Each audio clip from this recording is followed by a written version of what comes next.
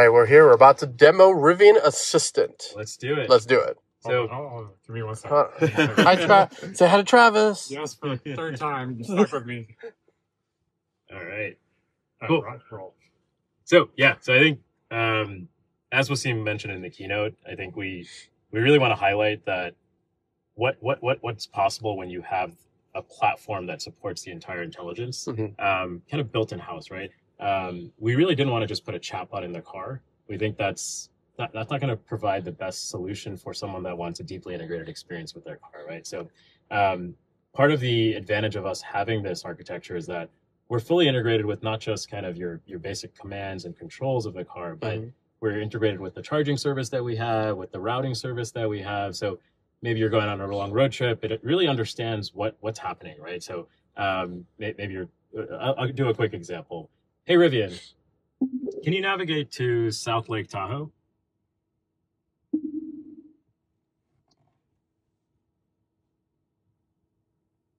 Navigating to South Lake Tahoe. So obviously You'll drive you're going for to four Tahoe. hours and We're- 11 minutes and arrive around 4:40 p.m. we're going to need to charge. Um, so, hey, Rivian, how long do I need to charge on my route?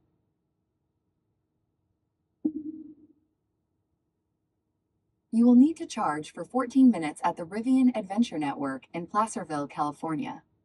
Oh. Hey, Rivian, is there anywhere I can grab a cup of coffee near that charger?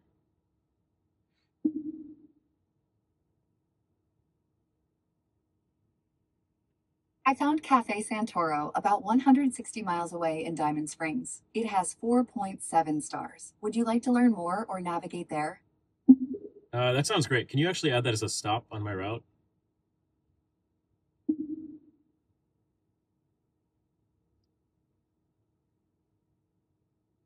Route updated. Stopping at Cafe Santoro, then Placerville, California, Rivian Adventure Network. Final arrival at 4:49 p.m. Right. So, Wow. super helpful on road trips, Mhm. right? I, I go up to Tahoe a lot, so being able to just kind of know what charger I'm going to, know what the amenities are around there. Maybe I need to grab dinner one day, and like I can find the best spot around a charger. Maybe I go to a different charger. Being able to craft that trip is, is super super helpful with voice. You don't have to pull out your phone and kind of do a whole bunch of like science to figure out where to go, what's the most optimal thing. It, it, it's just really easy with. And you can do this while driving. Absolutely. So uh, you can be like, you know what? I need coffee. Yeah, yeah, absolutely. really so cool. if we're on the on the highway, uh, maybe you have a kid in the back, Mhm. and suddenly you need to go to the bathroom, and you have to find a stop. You can quickly ask it. Actually, we we need to go somewhere before that cafe, and we need to find something um, now. And like, Yeah. find something closer by. Um, and that, that's really the power of deeply integrating the assistant with our entire ecosystem. It's it's not just a simple chatbot, but it the assistant has deep integration into our, our places search, our, our different charging amenities um, capabilities, and and that's really what makes it super useful, especially on road trips, but also your everyday when you're just trying to get around. Um, yeah. Are there some less common workflows you could go through? Like, for example, uh, I drive an R1T. We also have an R1S. But Mhm. if I wanted to say, hey, bring up the cameras that with the bed camera. oh yeah, absolutely. So uh, we're in the S, but if we were there, I would have showed you that. But I can I can do something similar. Um, hey Rivian, can you show me the cameras in the back?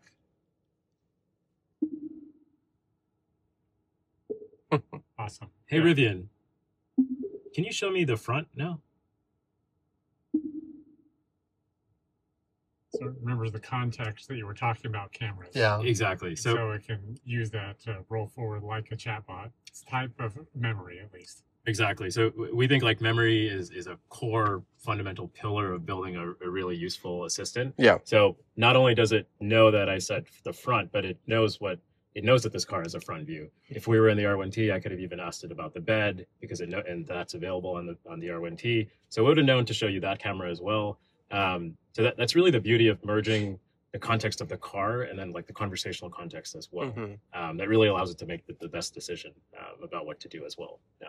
And it sounded like in the keynote, you guys are really trying to make this as extensive as extensible as possible. So I assume that even means things like outlet control, like basically as weird as you can probably think about it. If it's a controllable thing from the UI in the car, Absolutely. probably controllable by voice. Absolutely. Our, our- our goal is that we, you should really be able to control the entire car Mhm. um, with your voice. And honestly, it, there, there's so many options. There's so many things going on. The, the, the interface is amazing and it's beautiful. But sometimes the easiest thing to do is just to tell the car what Yeah. to do. Right.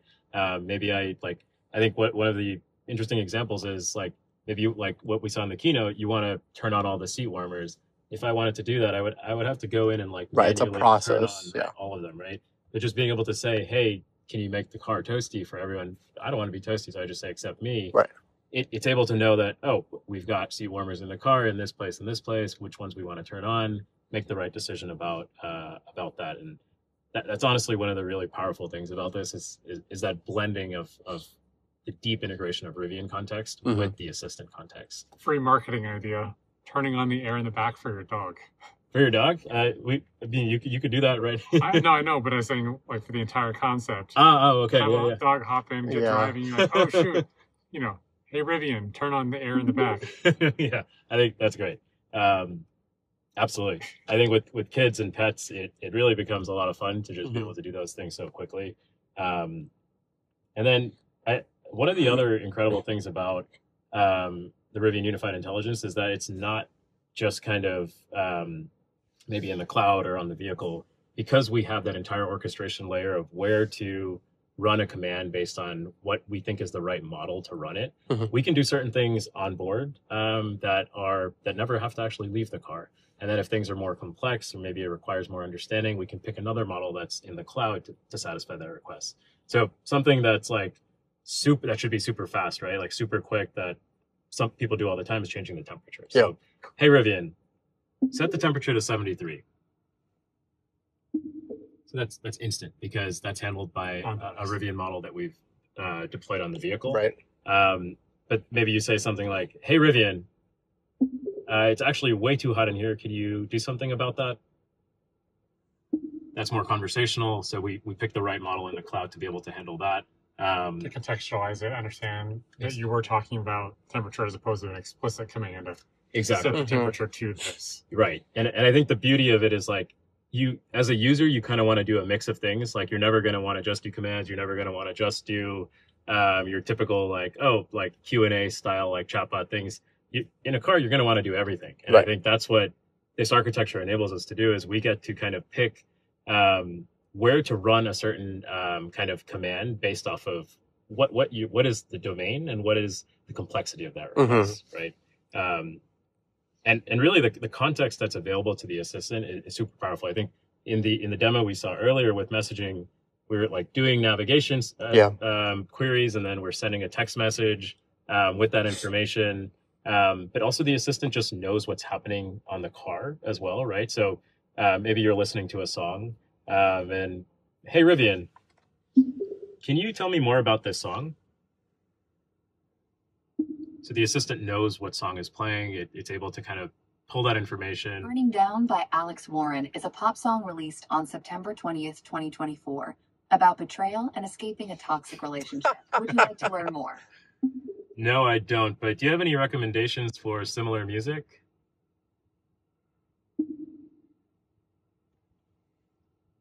I'm sorry, I encountered an error and cannot fulfill that request at this moment. happens. Engineering Please try build. again Yeah. but it, it is able to kind Yeah. of converse about all these different. Still better than Siri. Uh, so in terms of like messaging integration, all that, that's all compatible with both iOS and Android, right? That's right. So Okay. it, it's it's just your Bluetooth. So as soon as your phone connects with Bluetooth, Do you actually Uh, mind pausing the music for copyright oh strikes? yeah, absolutely. Thanks. Um, so, uh, sorry, you, you were asking about? iOS versus and you know with Android and all that. Yeah. Right. So as soon as your phone connects with Bluetooth, um, your contacts are synced. Okay. You, are able to do kind of your calls, your texts. Um, Any special permissions that you have to like give? uh, yeah. So you, uh, like through Bluetooth, you can um, like for example on iOS, you can choose like, do you want your message notifications Okay. to pop through? Do you want Nice. contacts to sync? If you don't want your contacts to be synced, you can Sure. also choose to do that. And if you prefer to call people with direct numbers, you can do that. Um, really, there, there's a lot of flexibility in how much you want to share um, with the assistant and how, how much you want it to be able to kind of access. Nice. Um, yeah. Is there anything specific that I could show you guys that you're interested in? Is is there something that I mean that you you're allowed to share that right now maybe it doesn't do that you want to see it do in the future, like just like a, a crazy vision. I think philosophically, the the vision of the product is how do we build something that is truly giving people back time in Yeah. their car.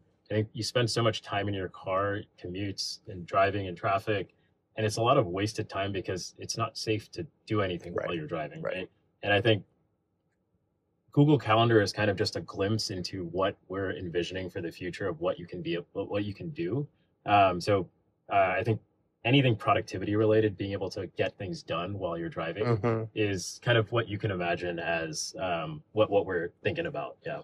So we can hopefully see other you know apps such as like Apple Mail or Apple like Calendar or you know maybe Zoom or stuff like that. Other integrations like that. I think yeah, like the, the Possibilities are endless. gi- gi- possibilities are endless. I think given the, the the fact that we have the agentic integration capabilities, Yep. it's we, there's there's specs like A to A, agent to agent. There's like MCP. There's we have the ability to build our own integrations. Right. Um, it, it really is endless, and I think that that's what makes this architecture incredible. Is that we're not limited by any any sort of kind of uh, domain or capacity. We, we can choose to add which integration we want.